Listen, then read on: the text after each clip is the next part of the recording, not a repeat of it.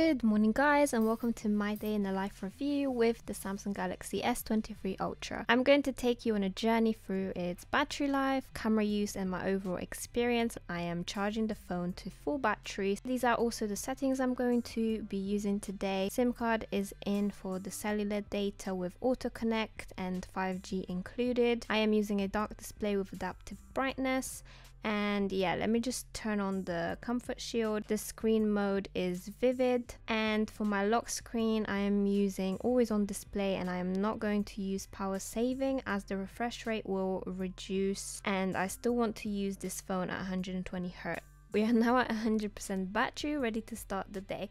Whilst I'm making some notes for a meeting, I'll put some calming music on and I'll be using the speakers on the S23 Ultra. Uh, I know you can't hear it, but I don't want to be copyrighted. and now I'm using the Microsoft Teams app on the phone whilst on a meeting.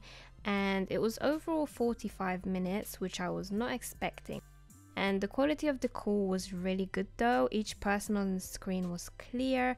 My camera quality was great from the front camera and the sound was sharp and crisp to hear everyone clearly. Um, but the phone did suffer a great amount of battery loss from this great quality now, time for some coffee. I know it seems that I'm doing everything backwards, but that's just how the day started for me, okay?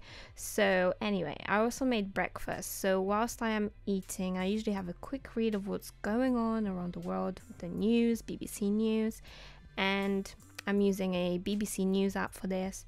And when I am tired of reading, because you know reading is quite boring, I will just play the live news channel, and that way I can finish my breakfast quicker as well. Lol. You know, I'm not that person. I want to try and keep suggesting that we should put frameworks around this stuff that companies should think carefully. I am about. now energized, pumped up, ready to get things ticked off my list. But wait, I don't have a list.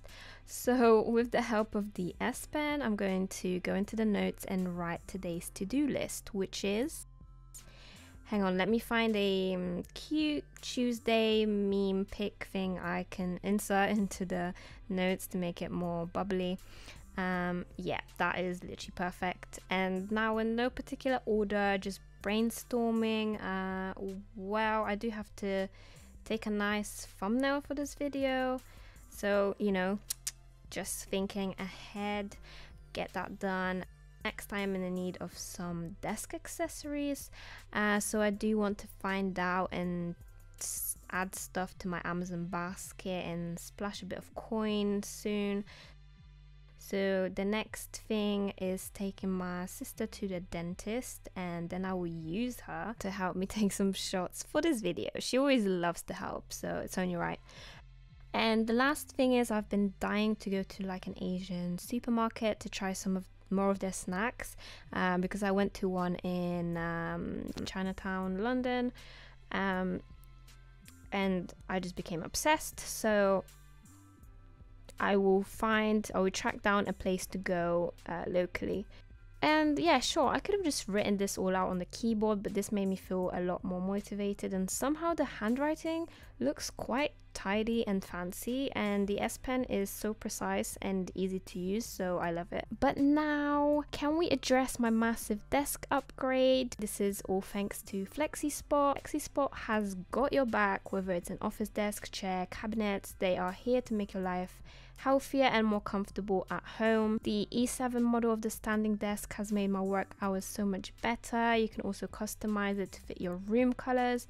I have mine in a silver frame and a grey desktop and it just fits right in with my grey furniture. This is also, the measurements for this one is 120 times 60 centimeters in size, but there is also an even bigger option if you want that. And this is a perfect chance to invest in one of these uh, during the Easter sale still going on. And if you sign up for the membership as well, you can get coupons and gather points for your orders, which is quite fun. And the E7 standing desk is stable and strong. I am not worried about anything wobbling and falling down when changing height. It feels made with really good quality materials. And in terms of the height it has an adjustable height of 58 to 123 centimeters. Also all the cables underneath can be hidden in this compartment underneath the desk. It has functions to go up and down. It, is, it has a child lock there is a USB port to charge your devices, so it's quite handy. I needed to charge my Beats. And now you see the reason why I wanted to get these new desk accessories to fill it up a little bit more. So I am using the Amazon app to find like a desk mat and some decorations to fill it in a bit more.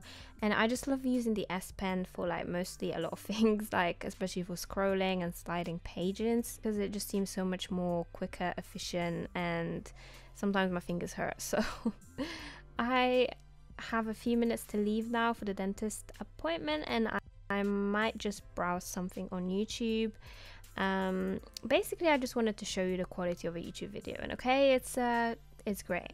I love how vivid the screen is. It's bright, clear, very detailed. Even if I watch a bit from further away, it's mwah, it's chef's kiss, honestly.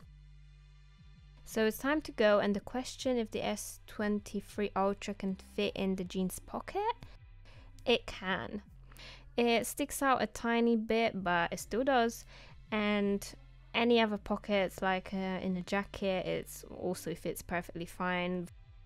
We are in a grocery shop now. I just couldn't help to get some juice and snacks to keep me going and I'm also finding an excuse to use the Samsung wallet while I have to and yeah, there we go.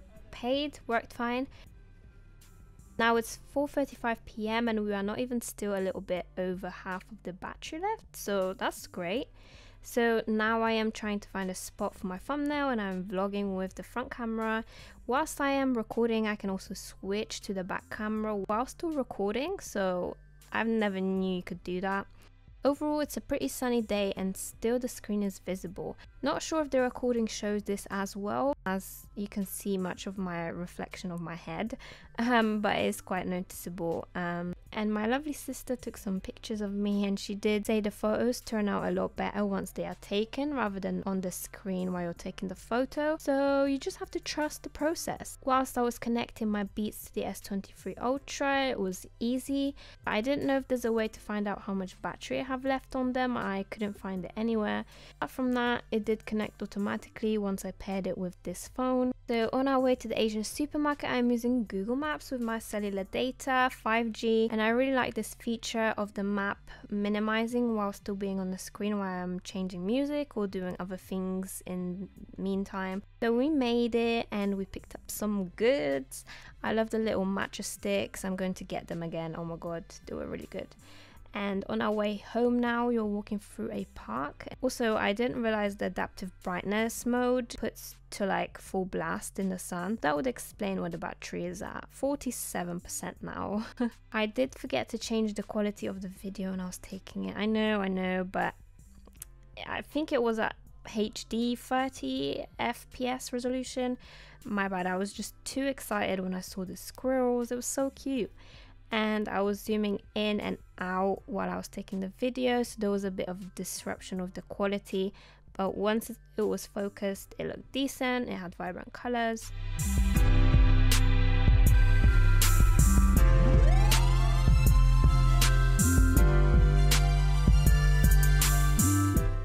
And quick selfie why not? It was a portrait mode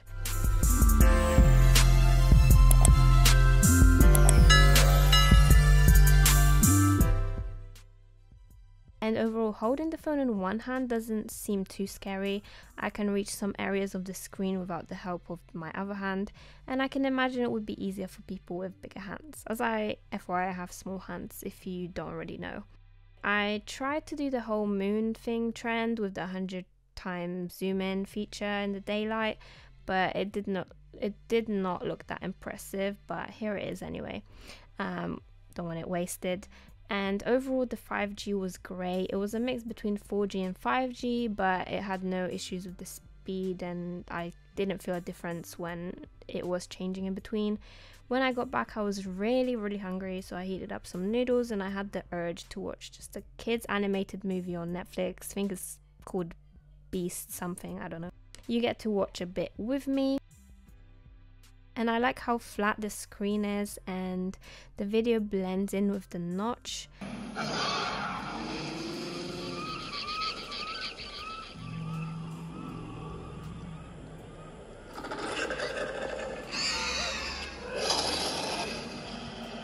The sound was nice and crisp, as you may have heard a glimpse.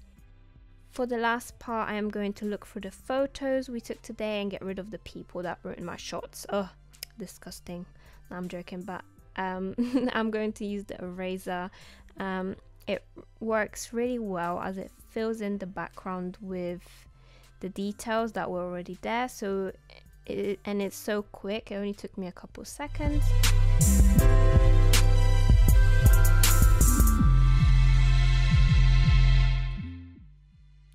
I have not gotten used to typing on this keyboard though. It does feel a little squishy, but I think you can adjust it in the settings. I haven't looked around to adjust it yet, but the suggested words do help a lot too. And the social media use is nice for images and videos like on Instagram. Scrolling has a good speed with the 120 hertz and I like how the video just comes to life. The the brightness, the video just pops with color when you start to watch the video. Um, I also have to show you this amazing TikTok of an owl. It the quality just looked so pretty. Like I couldn't believe it. It was just feeling like 3D and stuff. So I was like mesmerized. Um, but scrolling through TikTok is also nice and easy. The videos just instantly play with good quality and there's no loss of pixelations when loading each video up no matter how fast you scroll. And you know, at this time I just started to get bored. Like I really wanted to get rid of the battery percentage and so I played a random game with the S Pen, which was nice. It was responsive with with the moves for the game. Um, but the game was quite a slow burn to be honest and then I watched more YouTube and then say if you are away from the screen a little bit and you can't bother to like change the change the I don't know the sound or the video um, with your fingers. You can just use the S Pen. So I just turned just tested it out had the volume up or down with these motions. Um, but yeah so there we have it. The S23 Ultra totally survived my day and we still got what 12% battery left. That's that's great. And it's 11 p.m as well which, so even after i watched the movie to close the videos photos edited my edited my photos used the phone with a team call so i'm very satisfied with the battery power of like i think it's 5000 milliamps um, and as a conclusion, here is the breakdown of the battery used and let me know your thoughts on the S23 Ultra battery life. If you have the phone since day one, how is your battery use and does it handle all your daily activities? Let me know in the comments below. Also, don't forget to check out FlexiSpot to get your pop-up desk and if you enjoyed this video, don't forget to leave a like and subscribe and I'll see you guys in my next video. Bye!